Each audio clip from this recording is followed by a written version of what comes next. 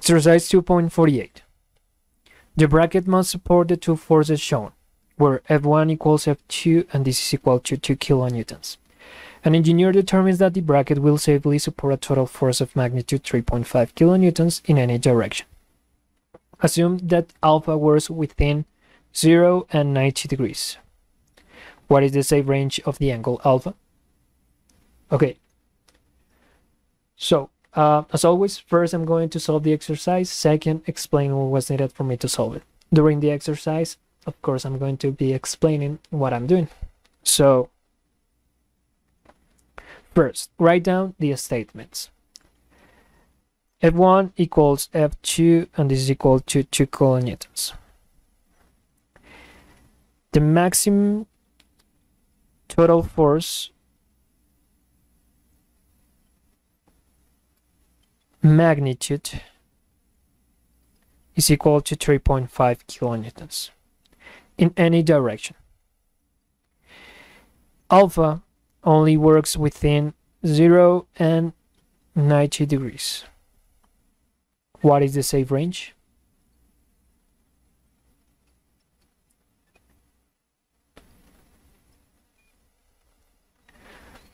Okay, so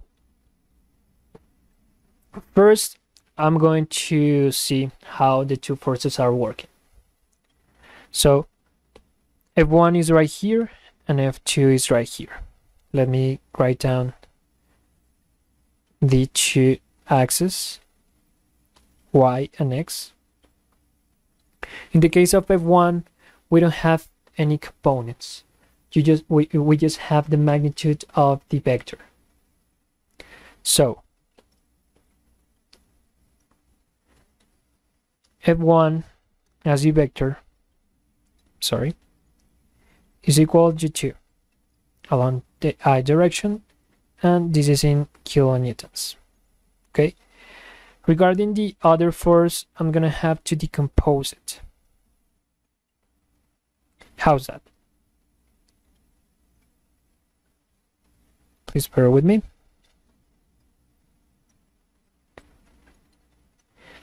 F2 cosine of alpha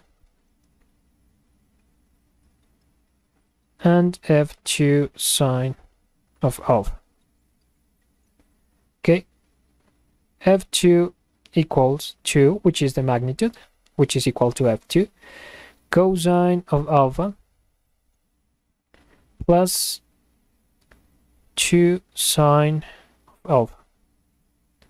And this is in kilonewtons as well. Remember, this is the i direction and this is the j direction.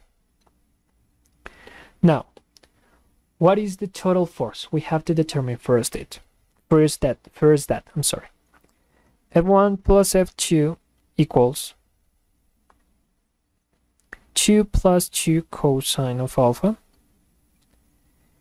plus 2 sine of alpha. Is all on the j i direction and this is all on the j direction.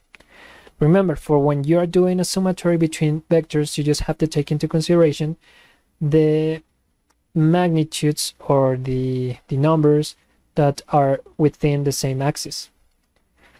This and this are within the same axis, which is the i direction, representing the x-axis. In the case of these, I'm just gonna have to, to write down the same thing. But in this case, I have 2 plus 2 cosine of alpha. Okay, now this is a total force, but using this as a, as a vector. The exercise is telling me the maximum total force magnitude as in a scalar, as a simple number. So what I have to do is to determine the magnitude of this vector. And that magnitude, I'm going to create an equivalence between that magnitude and the uh, maximum force allowed. So please bear with me. The, I'm sorry.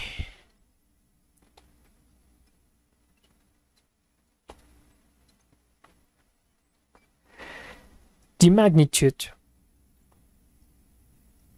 of this vector is equal to the square root as every other vector of the two components added together squared. Okay, as I mentioned before, I'm going to create an equivalence between this and the maximum magnitude allowed. And in this case, I'm going to solve this equation for alpha because that is going to be the angle in which I'm going to have the maximum um, force allowed. So we can determine this using the calculator or we can do it uh, by hand. So first I'm going to do it by hand and then I'm going to double check that information with the calculator. So uh, first I'm going to use just this information. I'm going to play with this for me to just have this unknown but not two times one two but only one okay that is what I need for me to solve this this exercise so playing with just this this is equal to 2 squared plus 2 times 2 times 2 cosine of alpha plus 2 squared cosine square of alpha regarding the other part I have 2 squared plus, I'm sorry, sine of alpha. Okay, now this is equal to 4 plus 8 cosine of alpha plus 4 cosine square of alpha plus 4 sine of alpha. Now I'm going to take out the 4, so 4 times 1 plus 2 cosine of alpha plus cosine squared of alpha plus sine squared of alpha. I think that I missed a square right here. Yeah.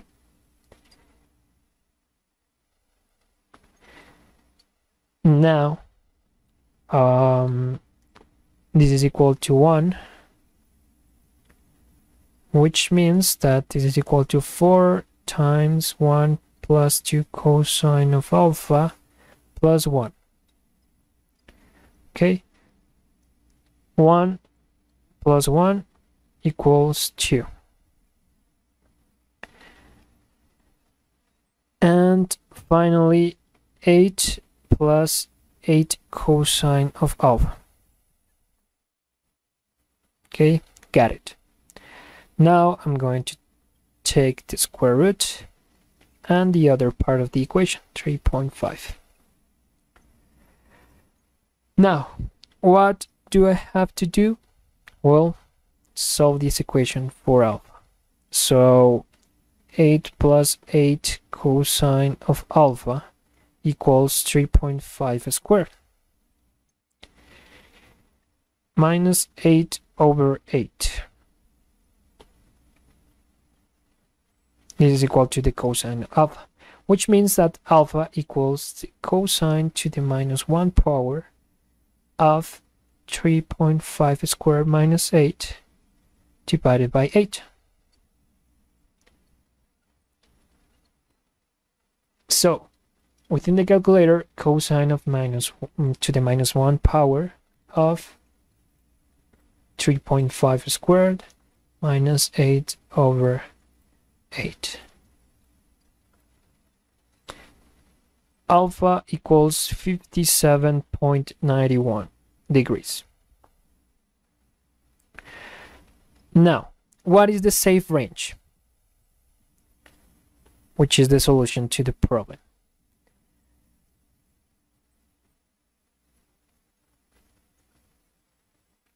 The angle alpha is the angle generated between the forces F1 and F2.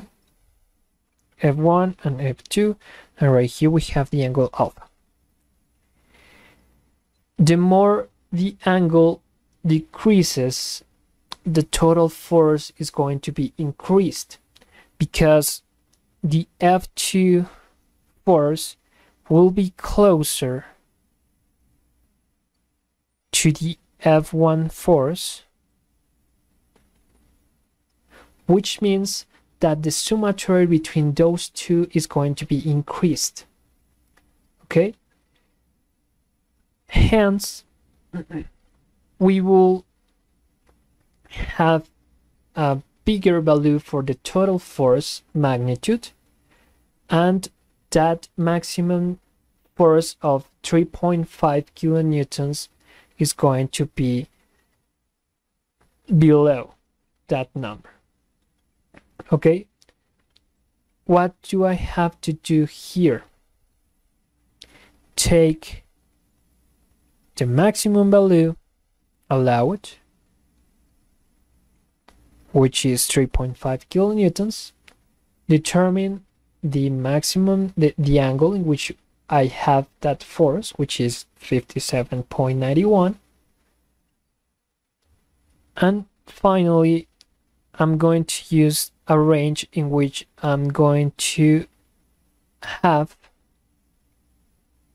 those two forces more separated okay which means that the safe range for the angle alpha is between 57.91 and 90 degrees. Since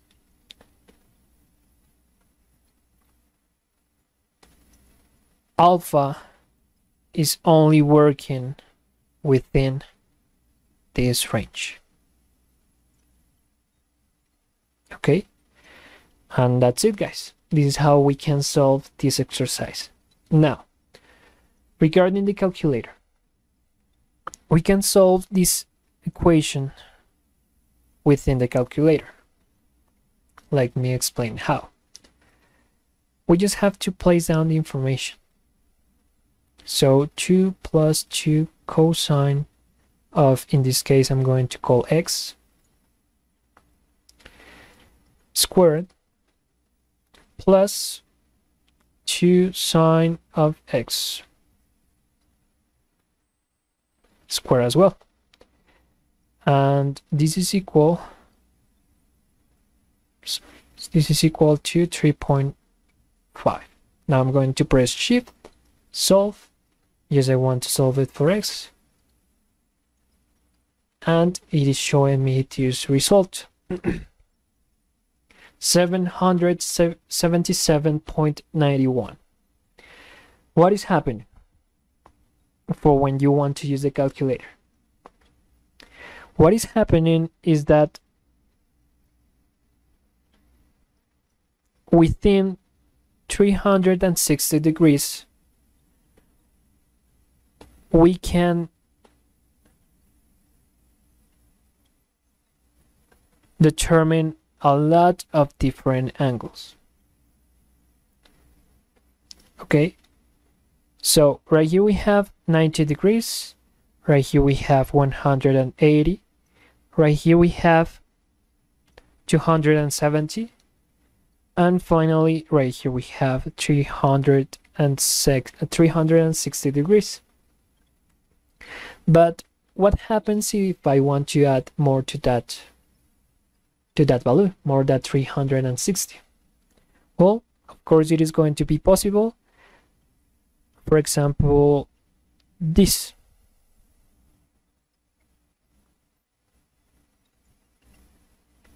Okay. This is going to be, for example, I don't know, 800 degrees. Okay.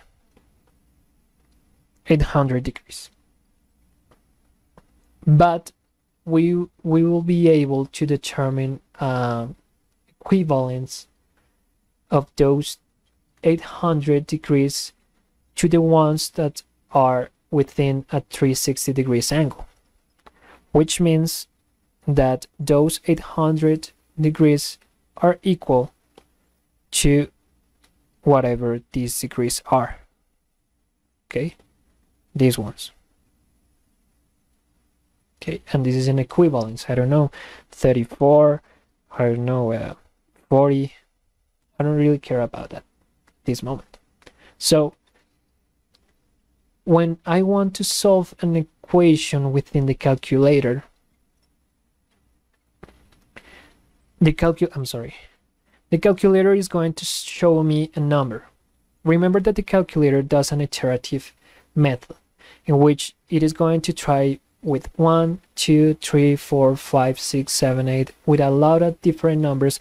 And when this requirement is met, then the calculator is going to show the result. This number is the first number that the calculator will attempt. Okay, if I write down, I don't know, 5, it is going to, to, to give me a different solution because it is going to start trying with the number 5. Okay, so uh, let's get back to the one that uh, we had before. I don't know, 777. As you can uh, see, it is showing me that result. We have to be able to transform those 777.91 uh, degrees to the ones that are within a 360 degrees angle uh, a 360 uh, degrees circle i'm sorry. How's that? So the answer is this one. We're going to divide this by 360 okay? This is equal to 2.1608 etc we will take out the whole numbers, which in this case is the number 2. Remember, a decimal number is composed by a whole number and a, a lot of different decimal numbers in this case. So I'm going to get rid of these two, the whole numbers. So minus 2, 0.16 08 etc and finally that number I'm going to multiply uh, I'm going to multiply that number by 360 once again.